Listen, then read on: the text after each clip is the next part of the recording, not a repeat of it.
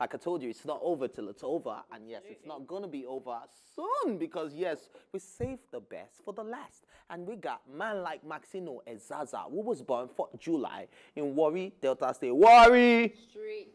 He said not street. Yeah. As, as a first child from a family of five, he is a rapper, songwriter, singer, and co-owner of the movement D19 Official. He kicked off music career in 2005 with a group of three male consisting of Great Adams, Champion Ikpen, and himself, made up the Southsiders. After the crew split up, Maxino started recording his solo projects with Frankie Free and Toxic A, which later was his in-house producers. Afterwards, he recorded the monster hit single, Yes, Not So I Did for Lekki Epe. Hey, 2 a.m. they could track my plug. He don't wait if you know clear. Hey, Popo Sef, he go start for yeah. And it was featured, and this is featuring Ace rapper Vector the Viper, and Maxino is still is still there to release more outstanding content to grace the hip hop scene. Maxino is in the building, ladies and gentlemen, and we can't help but scream.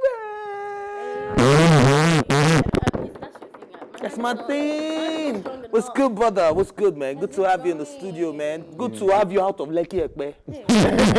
you're not in VI. You're on, the island. How does it feel to be on the island? Yeah, feel safe. Yeah, you don't come up for Lekki. Yeah, we feel safe, yeah?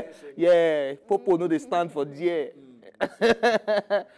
I'm only not go keep out for the first tank. oh. That's why I look at. All right, so let's talk about your sound. Let's talk about your music. Obviously, you, you're one of the people that is still keeping hip hop really real, especially in this part of the world. Yeah, Now, a lot a of people, deal. you know, find it very hard to, you know, relate to hip hop, especially in this day and time. They feel like, ah, we want to listen to Pangolo music, we want to dance. There's too much problem for me to be hearing rap. That rap, they make this left side of my head, they pain me. You know, people have different complaints when it comes to rap. How do you um, tend to stay consistent and relevant in this industry? What's your style of music? type of music that I put out, and Mm. yeah, and concerning what people want to listen to. You were saying something about like you're not gonna be boxed because you. Yeah. like, Yeah, you have different Yeah, styles. Yeah, you yeah. make music And if you if you listen to the type of music that's been coming out lately, we hear drill type of music, we hear trap, so we hear trap from, understand? But now I'm trying to like, okay, is this what they want to listen to? Let's put some sense into that. Let's put some moti on the streets. That's Alright. the type of Hon- music Honestly speaking, it's actually something really, really special about you. Um, and I think your purpose, at, at least for me, is that you you make rap digestible. And if he's not joking when he says that rap gives me it gives me a headache. Mm. Yeah. It does. Yeah. But something about yours, it's still rap. It's not watered down or like Yeah. loose or lullaby or, or bad. But I can I, I really like I dig it. It makes Yeah. sense. Just your your style, your flow, and all of that. It's really special. And I just I pray to God that you don't lose it because I'm enjoying. I can Nah, finally nah, say I have rap, Trust me, rap you songs in listen my to phone. Cold, But you know. did I get that? Yeah, Cold, Cold, right? Cold. That's my favorite That's jam But I, of Of I yours. yours. want to, I want to know though because you don't. You, I mean, I've, I've seen you around walking around the office. You look really quiet, like you don't have stress. When you get on that on your studio, it's, you kind of sound like a beast. So is this like a what's that word when they have like such a face for Beyonce? Like you have a, a alter ego. Like is it that ego. you have somebody else that comes into the studio that's not this When, it's, person? when music is involved. yeah. Certified. Certified. What does that even mean? That, that is AKA the certified killer, AKA AKA, the plug of certified all big killer, plugs, AKA the OG. You know that all shit. OGs. Oh, fuck Yeah. You know that. You know that. You know that. You know that. Alright. So when we when we hit the studio, it's like, okay, what this big guy say to me? Mm. You understand? And I, okay, this is what I have to say to you. This is what the people need to hear. Then Yeah, because it's not this quiet, it's not this chill. It's anger, it's aggressive. Like you want them to hear what they Yeah, want to hear. I really yeah, like yeah. that. All right, so let's talk. Let's talk about um, the music space for you. You know, what are the things you're actually doing differently? This is 2021. We all saw how 2020 did us. Yeah, Mm. it didn't Yeah. do us right, man. Yeah. 2020 didn't do us right. So we saw all of that. And um, what are you doing differently in 2021 to you know better yourself? Uh, I I won't say okay. Me, um, I won't say 2020 didn't do me well. Okay, so Because just say speak for yourself, darling. Feel No, me? no, it's a- it's a 'Cause general thing, 2020, no? 2020 like was like a revolution for me. Oh, wow. Because it, it was like, though I got I got a record by a, a deal at 2019 that didn't turn out well. Mm. In 2020 it was all shaky and then.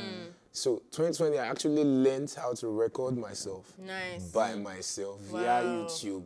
2020 I Oh, did that and. I put that tape out all by myself in my room. Wow. Wowzy. I have over 30k streams on that tape. What? I recorded Lekki Epe 2020 By yourself? By myself. Make you make your money. All right, Make so 2020 was coin. very good 2020, to 2020 was was Boy, That- wake yeah. up.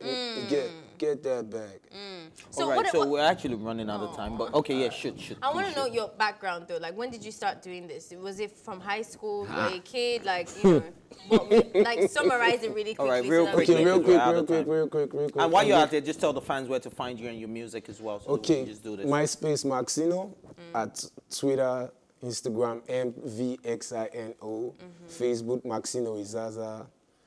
I'm always on Instagram. If you write me on Instagram, I'll see your DM. All Trust right, so just just answer a question. Okay, so yeah, when, how, when did you start your skill? Music, music's been all my life. Let's say 2004, 2005. Mm, First single recorded in studio 2006. Mm. Alrighty.